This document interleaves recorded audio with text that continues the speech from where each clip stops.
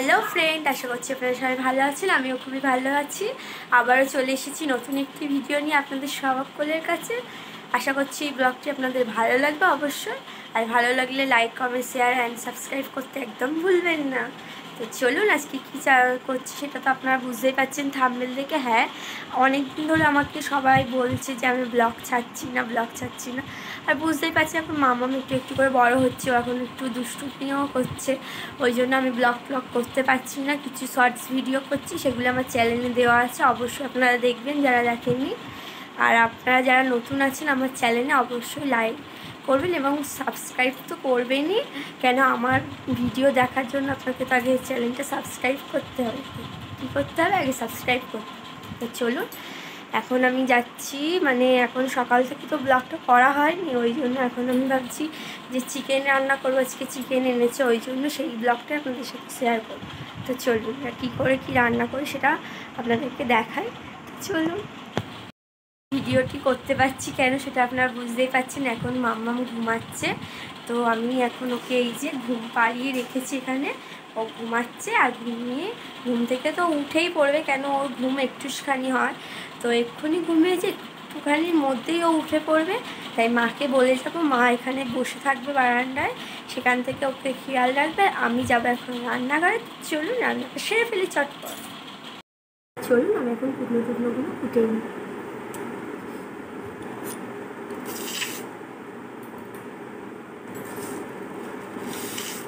প্রথমেই কাটবো আলু, কেন মাংসের জন্য প্রথমেই তো বাঙালিরা একটু আলু খেতে ভালোবাসে, আলু না দিলে মাংস ভালোও লাগে না, ওই জন্য প্রথমে আমরা আলুটা কেটে চলুন। এবছর আলু টালুগুলো প্রচণ্ড পরিমাণে মানে চাষ করে মানে নষ্ট হয়ে গিয়েছে, ওই জন্য নাহলে আমাদের কোনোবারে আলু কিনতে হয় না কেন আমাদের আলু চাষ করতে হয়। চাষ করে, ওই জন্য এবছর আমরা কিনে কিনে আলু খাচ্ছি, নাহলে অন্যবারে আমাদের বাড়িতে নিজস্ব চাষ করা আলু থাকে, সেই আলুগুলো দিয়ে আমরা রান্না করি। আর এখন এবছর একটু মানে কম হয়েছিল আলু মানে তাও হয়েছিল পরিমাণ, এতদিন চলছিল।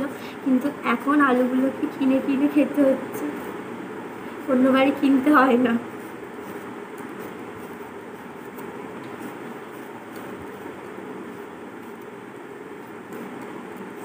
আমাদের মোটামুটি সব কিছুই চাষ করা হয়, যেমন ধরুন আলু চাষ হয়, পেঁয়াজ চাষ হয়, সর্ষে চাষ হয় মানে অনেক কিছুই চাষ হয়। ধর আমাদের নিজস্ব বাড়ি যে মানে আমরা রান্না করি চাল, সেটাও আমাদের মানে ধান চাষ হয় আমাদের। ওই আমরা ঘরের চালই খাই আর আমাদের চালগুলো বেশ সরু সরুও হয়। ওই জন্য আমরা চালও আমাদের কিনতে হয়। ধরো চাল, তেল, আলু, পেঁয়াজ, এগুলো তো সবই চাষ হয়ে গেল। আর টুকটাক শাকসবজিও চাষ হয়। যেমন ধরুন এবছরে মানে পালং শাক চাষ হয়েছিল, লাল শাক চাষ হয়, তারপর কুমড়ো চাষ হয়, তারপরে ধরুন কি বলে ওটা মূলো চাষ হয়। অনেক কিছুই চাষ হয়। কপি চাষ হয়। সব কিছুই হয়। মোটামুটি যা হয় মানে আমাদের সারা বছর চলেই যায়। টুকটাক করে সবজি টবজি চাষ করতে। তো বছর একটু বৃষ্টির কারণে সব মানে নষ্ট হয়ে গিয়েছে আলু টালু। অনেকবার বসিয়ে অনেক প্রথমে দুবার, তিনবার আলু বসিয়ে মানে আলু নষ্ট হয়ে গিয়েছে। লাস্টের বারে আলুটা বসিয়ে মানে নষ্ট হয়নি। অল্প টুকটাক হয়েছিল। তাই জন্য কী করা যাবে নষ্ট হয়ে যাবে কখন ঝড় বৃষ্টি হয় কেউ তো বলতে পারে না। আর এবারে পাটও চাষ হয়েছে, আমাদের পাট চাষটাও হয়, ওটা বলতে ভুলে গিয়েছিল। আমাদেরও অনেক পাট চাষ হয়েছে মানে অনেকই পাট হয়েছে। এখন আমি বললাম না, আমার রান্না করার মানে শুরু করতে করতে ও ঠিক ঘুম থেকে উঠে যাবে। হ্যাঁ মাম্মাম ঘুম থেকে এখন উঠে গিয়েছে। আর উঠে এমন বদমাইশ হয়েছে মানে এত দুষ্টু হয়েছে যে দেখুন এই জানলায় এখানে বৃষ্টি হচ্ছে আর এখানে উঠে উঠে বসে বসে দেখছে এখন। উঠে তো টয়লেট করে জামা টামা সব ভিজিয়ে ফেলেছে, ওই জন্য জামাটা চেঞ্জ করে দিলাম। আর ঘুম থেকে উঠে মানে ও এখনও মানে মানে রেডি করানো হয়নি, ওই জন্য একটু টিপটিপগুলো করিয়ে দিলাম। কেন তখন স্নান করে ঘুমিয়ে পড়েছিল, ওই জন্য তো এখন রেডি করেছি। ঠান্ডা লেগে গেছে, বুঝেছে? এখন ওয়েদারটা এমনই হয়েছে যে একটু ঠান্ডা, একটু গরম মানে ঠান্ডা পড়ছে না মানে গরমকালে যে বর্ষার জন্য বৃষ্টি পড়ছে একদিন, আবার একদিন টানা রোদ, খুব গরম পড়ছে, তাই জন্য ওর ঠান্ডাটা লেগে গেছে। জন্য এখন ওষুধ খাচ্ছে ও। ওষুধ খাওয়াচ্ছি রাখতে দেখি। নিচে মামু, কী হচ্ছে মামুটা খুব পাকা, শুধু জানলার ধারে আসবে, এসে এসে দেখবে যে জানলা দিয়ে কে আছে, না আছে। এসে দেখে উঁ করে আউজ করবে। পায়রা আমাদের এখানে খুব পায়রা আছে। আর পায়রাগুলো দেখতে দেখতে চেঁচাবে। মানে কথা তো বলতে শেখেনি এখনও কেন সবে। আট, ন মাস মতো বয়স ন এখন উঠে গিয়েছে আর কি করা যাবে। তো চলুন, আমি এখন মানে আদা রসুনগুলো পেস্ট করে নিই। আর পেস্ট করে নিয়ে রান্নাটা করতে হবে। কেন এখন খুবই দেরি হয়ে গিয়েছে, দুপুর হয়ে গিয়েছে। অনেকটাই এবার খাওয়া দাওয়া তো করতে হবে, তার জন্য তাদের রান্নাটা শেষ করতে হবে। তো চলুন রান্নাটাকে শেষ করে নিই। কী করব, এত দুষ্টু হয়েছে যে পারা যায় না একটুখানি ঘুমালো না দেখেছে কুটনো কুটতে কুটতেই উঠে গিয়েছে। কী করা যাবে এখন মার কাছে? একটু দিই মাও এখন কাজে ব্যস্ত। কী করব, মাকে দেখে একটু দিই, নাহলে আমি রান্নাটা তো করতে পারব না। মায়ের কাছে দিয়ে আমি রান্নাটা সেরে ফেলেছি মাংস রান্না করার জন্য কী কী জিনিস নিয়েছি সেগুলো আপনাদেরকে দেখিয়ে নিই। কতটা পরিমাণে নিয়েছি তো চলুন। প্রথমেই আমি পেঁয়াজ কেটে নিয়েছি চার পাঁচটা বড় বড়। টমেটো কেটে নিয়েছি একটি ছোট। আর আর রসুন নিয়ে নিয়েছি মানে ছাড়িয়ে নিয়েছি। আর কাঁচা লঙ্কা চার পাঁচটা নিয়ে নিয়েছি। আর কিছুটা পরিমাণে আদা নিয়ে নিয়েছি। এখন কোলে নিয়েছে মানে ওকে নিয়ে উপরের দিকে ঘুরতে গিয়েছে। আর আমি এখন পেস্টটা করে নিই, তো চলুন দেখাই আপনাদেরকে। প্রথমে আমি পেঁয়াজ, টম পেঁয়াজটা, লঙ্কাটা, আদাটা, রসুনটা। অল্প পরিমাণে পেঁয়াজ রেখে দেবো ভাজার জন্য, অল্প পরিমাণ পেস্ট করব। পেঁয়াজ, আদা, রসুন আর কাঁচা লঙ্কাটা এখন আমি পেস্ট করে নিতে চলুন। পেস্টটা আমার হয়ে গিয়েছে, এখন আপাতত পেঁয়াজ আছে আর টমেটো আছে, এগুলো আমি ভেজেই নেব। রান্নাঘরে চলে এসেছি। এই যে মাও এসেছে। মা এখন মামামকে একটু দেরি হয়ে গিয়েছে নিয়ে। মামামকে নিয়েই মা এখন আলুটা ভাজছে এখানে। আর এই যে আমি আলুটা একটু নুন আর হলুদ দিয়ে আপনারা ভেজে নেবেন। এই যে মার লাল লাল করে ভাজাই হয়ে গিয়েছে। আমি মাংসটা আনতে ভুলে গেছি, মাংসটা আনতে যাচ্ছি। তো এসে মাংসটা আমি রান্না করব, আপনাদের সাথে সেটাই দেখাবো। তো চলুন। মাংসটা এনেছি, এই যে মাংস। আজকে আমরা অল্প করেই মাংস করছি মানে সাতশো সাড়ে সাতশো আমি মাংস নিয়েছি এখানে। আর কেন আমরা আজকে একটু অল্প করে করছি? কেন আমাদের ছোদ্দা ভাই বাড়ি নেই? ছোদ্দা পুরী ঘুরতে গিয়েছে, বেড়াতে গিয়েছে, আজকে বাড়ি আসবে এখনও আসবে না মানে সেই রাত্রে বাড়ি আসবে। তারপরে এসে খেতে পারবে না, ওই জন্য অল্প করে রান্না হয়েছে। তো চলুন, রান্নাটা সেরে ফেলি, অনেকটাই বেলা হয়ে যাচ্ছে। রান্না করতে যেগুলো নিয়েছি, সেগুলো আমি আপনাদের সাথে আরেকবার দেখিয়ে দিচ্ছি। আমি লাল লাল করে আলুগুলো ভেজে দিয়েছি, নুন আর হলুদ দিয়ে মা ভেজে নিয়েছে। এই যে এখানে প্রথমে নুন নিয়েছি, হলুদ নিয়েছি, একটা মিট মশলা, একটা গরম মশলা, এই যে মাংস নিয়েছি, আর পেঁয়াজ, আর এই টমেটো, আর এই যে আদা, রসুন বাটা, আর এই যে তেল আছে। তো চলুন রান্নাটা করি। এখন তেলটি গরম হয়ে গিয়েছে, প্রথমেই আমি তেলের মধ্যে টমেটোগুলোকে দিয়ে দিই কারণ আমি আগে টমেটোগুলো দিই, কারণ আমাদের বাড়ির সবাই নাহলে টমেটোটা না আমাদের গন্ধ লাগে, ওই জন্য আমরা টমেটোটা দিয়ে আগে একটু ভেজে নিই টমেটোটা দিয়ে, তারপরে পেঁয়াজ দিই, তার আগে দিই।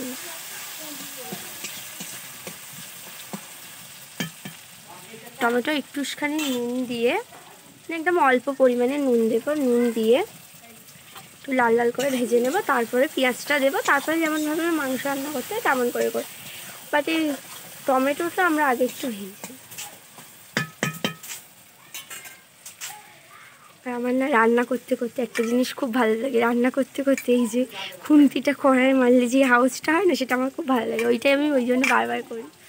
কিছু মনে করবে না, একটু মানিয়ে গুছিয়ে নেবে। নতুন নতুন ভিডিও করছি তো ওই জন্য।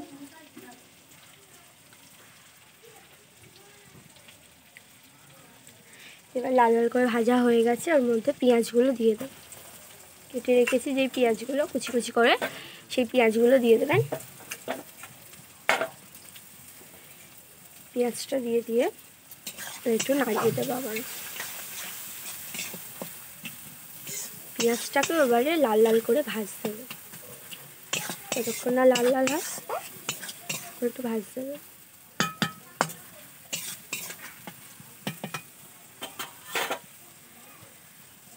তো চলুন, যতক্ষণ না পেঁয়াজটা লাল লাল করে ভাজা হয় একটু কাঠটা দিয়ে দিই।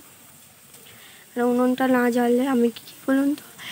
ভিডিও করতে করতে ভুলেই যায়, এদিকে উনুন লিবে যায়, ওই জন্য আমি একটু মাঝে মধ্যে মনে করে করে কাট দিতে হবে, নাহলে লিবে গেলে কি করে রান্না করব বল? একটু নাড়িয়ে দিলাম।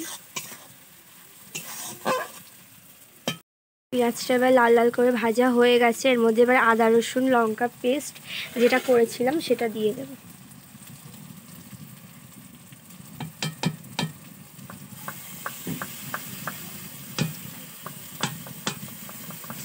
পড়ছে না, হাত দিয়েই দিতে হবে কারণ লঙ্কা তো জ্বালা দেয় হাত, ওই জন্য ওরমভাবে দিতে চেয়েছি বাট হচ্ছে না, হাতে করেই দিতে হবে।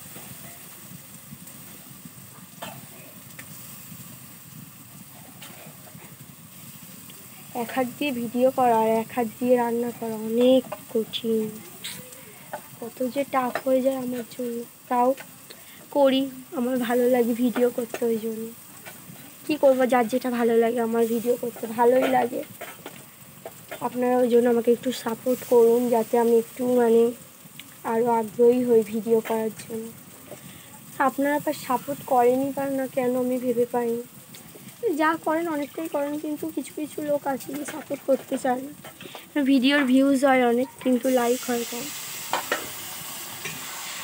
কী করব? যাদের ভালো লাগবে তারাই তো লাইক দেবে, আর যাদের ভালো লাগবে না তারা দেবে না। তো করার নেই বলুন সব কি আর আমার হাতে? তো তাও আমার ভালো লাগে তো আমার করতেই হবে। আপনারা প্লিজ প্লিজ একটু বেশি বেশি করেন না সাপোর্ট করবেন আমাকে। নাহলে না, আগ্রহ আসে না ভিডিও করার।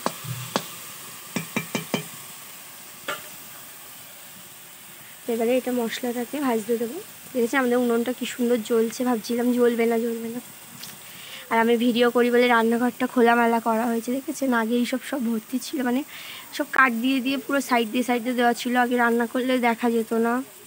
যে কালার কেমন হচ্ছে, না হচ্ছে ভিডিওও করতে পারতাম না ওই জন্য একটু নাড়িয়ে দেবো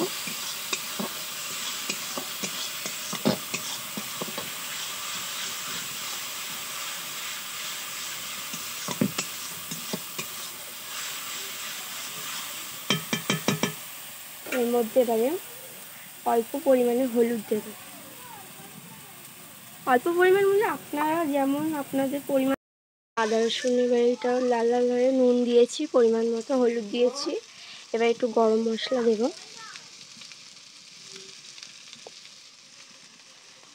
দিয়ে এবার নাড়াচাড়া দিয়ে নেব।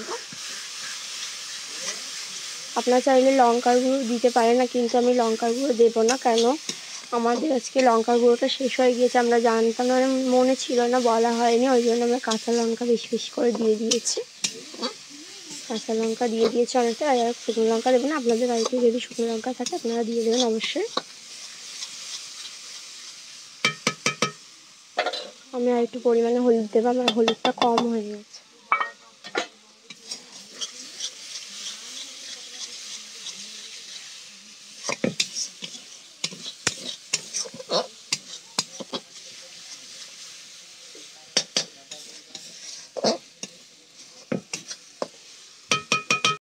এবারে আমি এর মধ্যে চিকেনটা দিয়ে দেব। এই চিকেনটা রেখেছিলাম দিয়ে, এই চিকেনটা দিয়ে এবার নাড়াচাড়া দেবো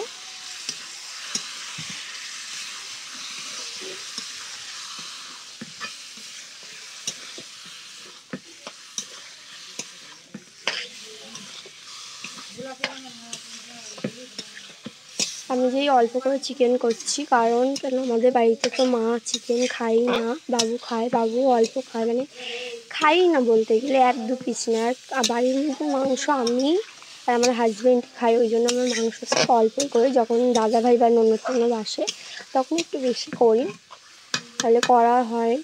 হ্যাঁ প্রায় করি, কিন্তু আমরা অল্প করেই করি। কেন? কেউ খায় না ফালতু বেকার, এক তো করে নষ্ট করা যায় না, ওই জন্য।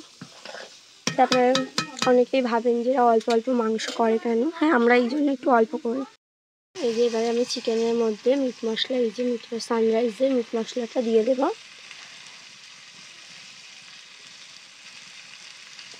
মিট মশলাটা দিয়ে এবার আমি কষাবো। আর কোনো মানে জিরার মানে জিরের গুঁড়ো পুরো দিই না আমি, কেন? জিরের গুঁড়ো দিলে মাংসতে অনেকেই দেয় না, কারণ অনেকে বলে যে তিতো হয়, ওই জন্য আমিও দিই না। আর আমার রান্নাটা শেখা হলো। আমার মাটার কাছ থেকে আমার মা বলে জিরের গুঁড়ো না দিলেই মাংস ভালো হয়। ওই জন্য আমি জিরের গুঁড়ো দিই না। মিট মশলাটা দিয়ে আর নুন, হলুদ, লঙ্কার গুঁড়ো টুড়ো দিয়েই করি। আর জিরের গুঁড়োটা দিই না। বাদ বাকি যা মশলা আছে সব কিছুই দিই। এবারে আমি মিট মশলাটা দিয়ে আর একটু করতে যাব। এটা একটু মিট মশলাটা দিয়ে একটু নাড়িয়ে চাড়িয়ে আমি একটু ঢাকনাটা দিয়ে দেবো যতক্ষণ না মানে একটু তেল তেল বের হয় মানে একটুখানি এ করে নেব, ঢাকা দিয়ে নেব। এক দু মিনিট মতো ঢাকা দেওয়ার পর ঢাকনাটা খুলে দিতে হবে, দিয়ে দেখুন হালকা তেল তেল সাইড দিয়ে বেরিয়ে গিয়েছে এবারে ওটাকে নাড়িয়ে দিতে হবে। নাড়িয়ে দিয়ে এর মধ্যে আবার যে ভেজে রাখা আলুগুলো আছে, সেই আলুগুলো দিয়ে দেবো। দেখুন কালারটা কত সুন্দর এসেছে।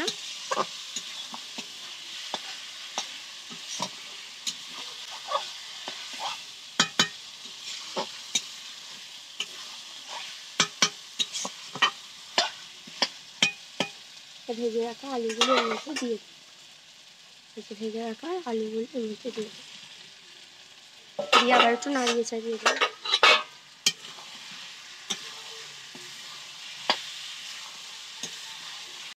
ভালো করে নাড়িয়ে চাড়িয়ে দেবো।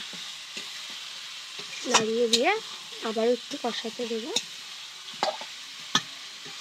বেশি না, তিন চার মিনিট কি পাঁচ মিনিট মতো কষালে কষানো হবে।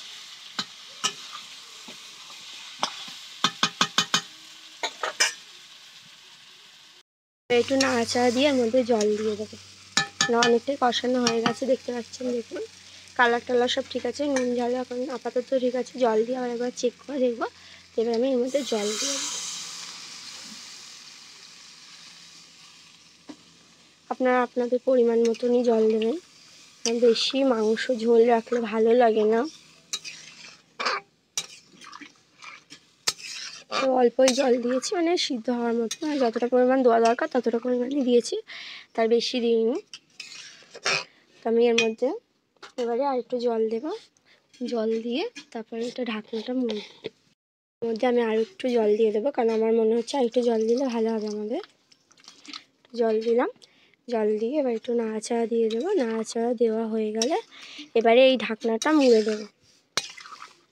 মুড়ে দিয়ে এবার শুধু আস্তে আস্তে হতে দেবো, বেশি তাড়াহুড়ো করব না। বুঝলে ঢাকনাটা দিয়ে দেবো, এবার এখন দশ মিনিট মতো এটাকে ফুটতে দেবো, তার মধ্যে মাঝে মাঝে নাড়া দেবো। ঢাকনাটা খুলে নাহলে তলায় এ হয়ে যাবে যে হালকা হালকা পুড়ে যাবে, ওই জন্য মাঝে মধ্যে এটা খুলে শুধু নাড়া দেবো আর কিছু করব না। তো চলুন, এবার এটা হয়ে গিয়ে লাস্টে আপনাদেরকে দেখাচ্ছি কীরকম কী হয়েছে। একটু ঢাকনাটা খুলে ঢাকনাটাকে খুলে ভালোভাবে নাড়িয়ে দেবো। তো দেখুন, ঝোলটা কী সুন্দর কালার এসেছে, ফুটছে টকবক করে। একটু নাড়িয়ে দেবো, নাহলে তলায় ধরে যাওয়ার ভয় থাকে। ওই জন্য একটু নাড়িয়ে দেবো, নাড়িয়ে দিয়ে আমি একটুখানি ঝোলটাকে কমাবো। আপনারা চাইবেন যেমন পরিমাণে ঝোল রাখতে মানে আপনাদের পছন্দ ততটা পরিমাণেই রাখবেন। আমার মনে হচ্ছে ঝোলটা একটু বেশি আছে, আমি আরেকটু ঝোলটাকে কমাবো। ওই জন্য আরেকটু মানে দেখেছেন আঁচটাকে আস্তে দিয়ে রেখেছি, আস্তে আস্তেই হচ্ছে। আস্তে আস্তে হলে কি ঝোলটা টেস্ট হয়। বেশি তাড়াতাড়ি করলে ঝোলটা মরে যায় আর মানে বেশি আছে করলে তখন আর ভালো লাগে না, তাড়াতাড়ি মাংস টাংস গলে না, ওই জন্য আস্তে আস্তে দিয়ে লাস্টে ঝোলটাকে ফোটাবো। আস্তে আস্তেই হবে, তাহলে মাংসটাও গলে যাবে, আলুটাও গলে যাবে, আর মানে টেস্টটাও হবে খুব সুন্দর। মাংসের ঝোলটি আমি এতটুকুই রাখব, আর কমাবো না ঝোলটা, কারণ আমার মনে হচ্ছে এখন ঠিকই আছে। এবার আমি মাংসটা নাড়িয়ে নিয়ে এবার লাভিয়ে ফেলব। আর বেশি দেরি করব না, কারণ আর একটু ঝোল মরালে তাহলে আমরা আর খেতে পারব না ভাতটা। একটু অল্প অল্প ঝোলই রাখি, বেশি রাখি এই ঝোলটাই ঠিক আছে আমাদের জন্য।